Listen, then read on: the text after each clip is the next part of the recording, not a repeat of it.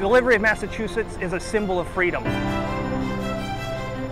Massachusetts marks the 25th Virginia-class submarine to the Navy. Shipbuilding is a difficult business. The men and women that put together Massachusetts are honorable Americans. The work is hard, the days are long, but they come together, they work as a team, they partner with the Navy, and they delivered an amazing ship for the nation. Our nation desperately depends upon the capability of a Virginia-class submarine out in the depths of the ocean, Atlantic, Pacific, anywhere, anytime she's called upon.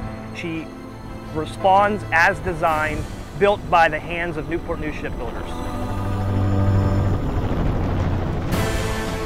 It's amazing, yeah. If you think about it, you know, something that that goes from like modules with parts in it that comes together and then it goes underwater and just people live on it. I mean, you know, like I don't think you realize it unless you go down there and see that it, it's a whole city on board. As long as we're all out here willing to, to fight it together and work it together and, and figure it out together, we bond together and, and I mean, there's nothing we can't accomplish. We just have a lot of obstacles sometimes that we figure out and, and uh, it can be a little stressful, a little demanding, but uh, I mean, if, if you're here for it, you're here for it and you should definitely just be proud of what you do.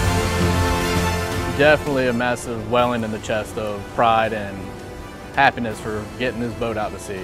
Some days are definitely more difficult than others to get out of bed and come to work early and, and work these hours. So definitely with the pride knowing that this submarine is going to go to sea and defend the country is definitely one of those big steps that we have to go and think about sometimes and stop and just think about what we're doing. The Massachusetts delivered to the Navy has been a big success and a big win for the company.